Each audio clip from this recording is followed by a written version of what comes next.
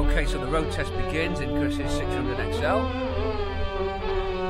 As you know, faceless dash.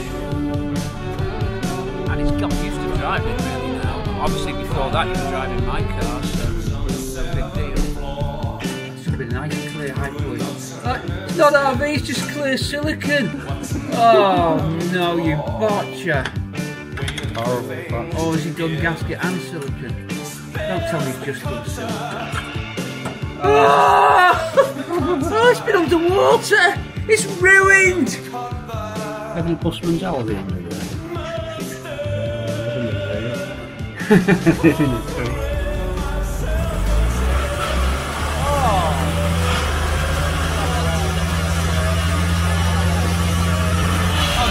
Oh,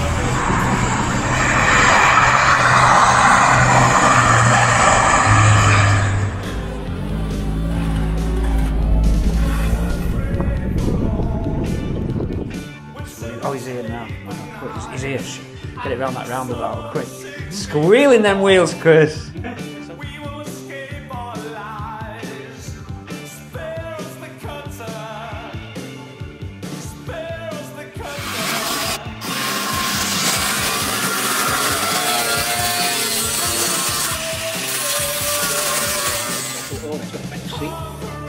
Got wheels. Got a black boot clean.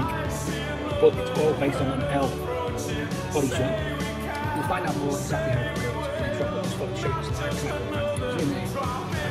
Click, bring up out, check where it is.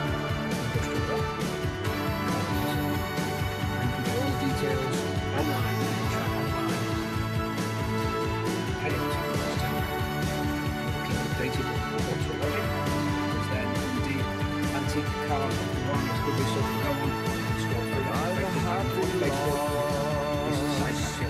I still recoil when the skin is lost? Am I the worthy cause? Will I still be sold? You enjoyed I still can't believe it, Pete, honestly. I honestly can't believe it. It's unbelievable. Well, you have to because it's real. Mm. It is, honestly, thanks, Pete. I honestly don't know what to say. Because I was not expecting that. I was expecting the car, but not that.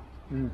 If that makes sense. Mm-hmm. Yeah. Well, yeah, we, we, you know, it was getting a long time, six weeks. I was thinking he's, he's wondering if he'd get his car back after that time.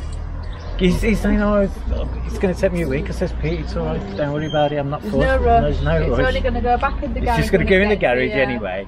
And what Um, way are you going to do with it? What am I going to do with it What now? way are you going to do with it if it was going to come back in the? It was probably, I would have probably took it out for a drive a couple of times Yeah. and it would have probably just gone back in the garage. It up. Yeah.